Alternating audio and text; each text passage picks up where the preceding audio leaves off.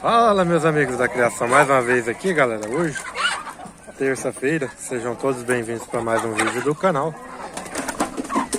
Ainda não deu o trato das aves galera, da tarde, é, acabei de chegar aqui e eles ficam um pouco aí agitados né, esperando. Por isso que toda vez galera, eu gosto de, de tratar antes de fazer a filmagem, mas de qualquer forma aí, mostrando aí para vocês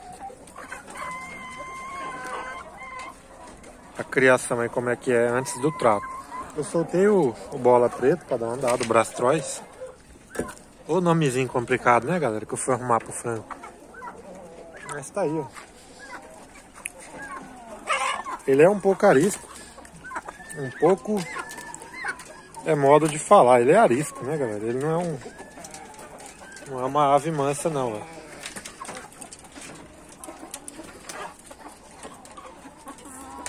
É de um porte médio. O pai dele era um galo bem grandão.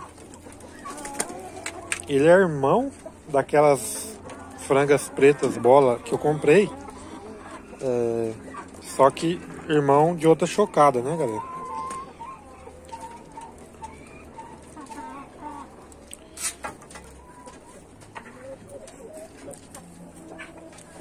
Filho do mesmo pai.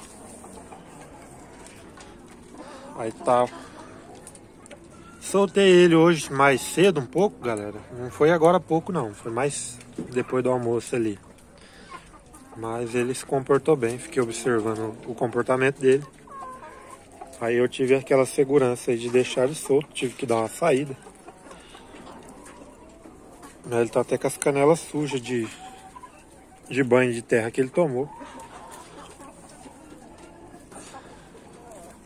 Mas assim, para pegar ele, ele não é uma ave mansa não. Aí ele já dá um trabalhinho. Aí eu só consigo pegar ele na hora que ele empoleirar.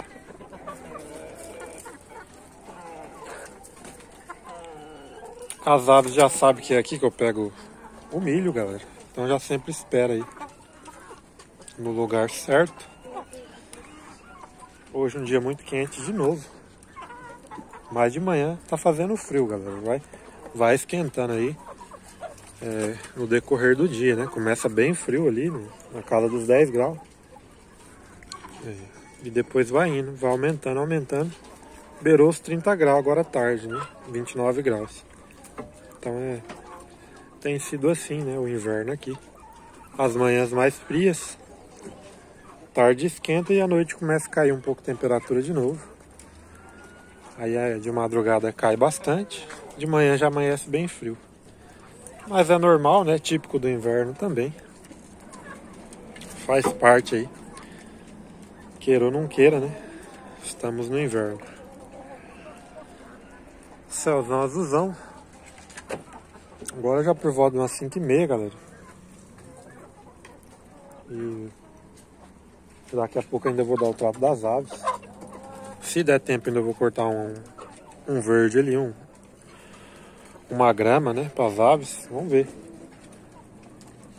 Porque para tratar aqui, galera, é uma é, gaiola por gaiola demora, né? Menos de meia hora não trata de jeito nenhum. Aí, se sobrar tempo, porque daí vai beirando às 6 horas, já escurece rapidamente. Tem épocas, épocas do ano que 8, 8 e meia, até beirando às 9 da noite ele tá de dia, né? Que é no verãozão. Mas no inverno é totalmente oposto. Quanto mais o inverno afunda, mais cedo, mais cedo escurece, né? Essa franga marrom aqui, galera, é a mãe do filho do príncipe, né? O pescocinho pelado. E a mãe do Baltazar também. Aquele barbudinho lá. Aquele ali, ó, do meio ali, ó. Essa daqui é a mãe dele. Tá correndo lá, ó.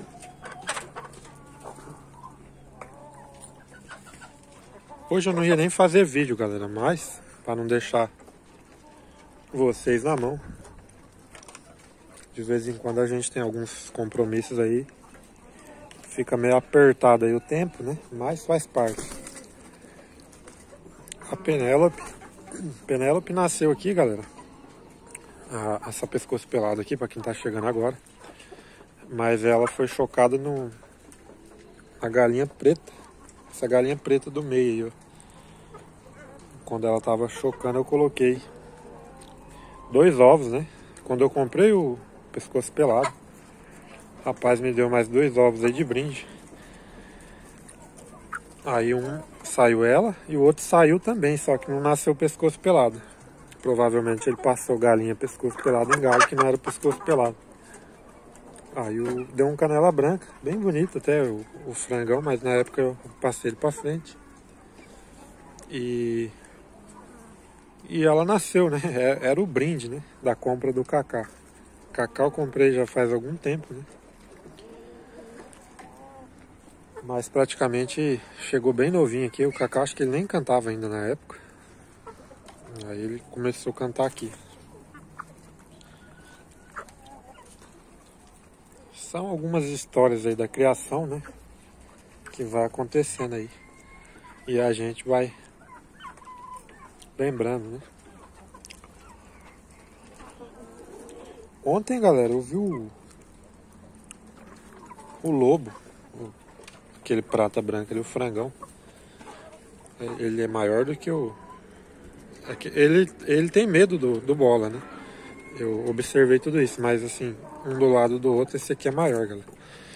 E ele tá bem é, corcundão, né? Ele não tá na pose andando em pé, senão ele fica bem mais maior ele pegou a galinha, a galinha branca.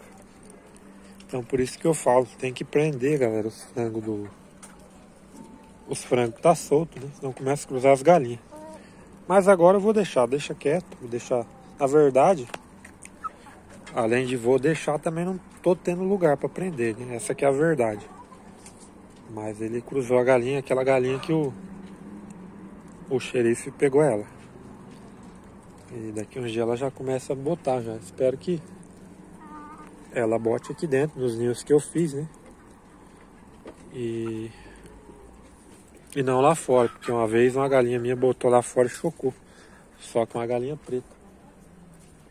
Inclusive depois eu vou ver ali se tem ovo no ninho. A galinhazinha branca botou, galera. Aquela galinhazinha que eu ganhei. É... Só que ela doidona, ela entrou lá onde que tava o cinzão lá botou lá dentro. Aí eu tive que é, abrir lá para ela sair, porque ela não conseguia sair. Mas ela, no caso, galera, ela não é para reproduzir. Eu vou deixar ela aqui para ela chocar ovos de galinhas índias, né? Quando eu tiver galinha botando, aí eu coloco nela. Aquela galinha ali, ó. Ela botou. É... Aí eu coloquei dentro de um ninho ali, galera. Aqui não tem nada por enquanto não. Eu coloquei aqui, ó.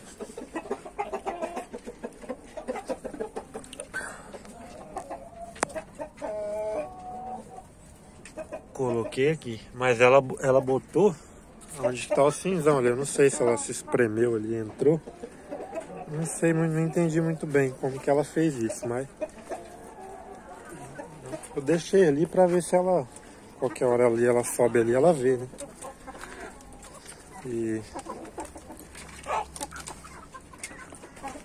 Como eu disse, galera, mês que vem as galinhas já vai estar tá uma produção bem alta, eu creio, aqui na criação, né? E depois lá quando tiver um número bom de ovos, né? De galinhas botando. Eu vou selecionar alguns aí para estar tá colocando na chocadeira, né? Eu sempre ligo a chocadeira no inverno. Por alguns motivos específicos, galera. Vou falar alguns aqui.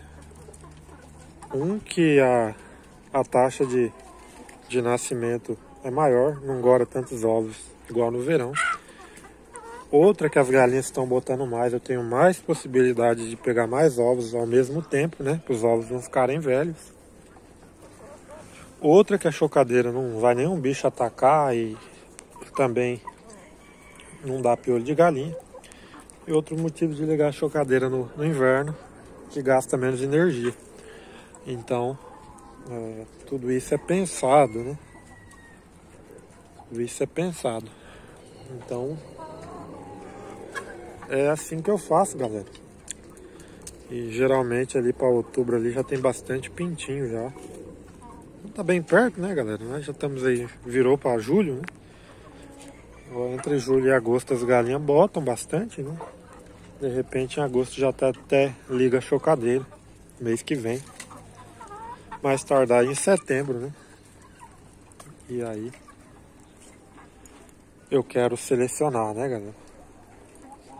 Agora, se eu tiver que deixar alguma galinha é, chocar, galera, no lugar, eu vou ter que fechar o ninho, né? Aí eu vou acabar deixando, mas cuidando, né?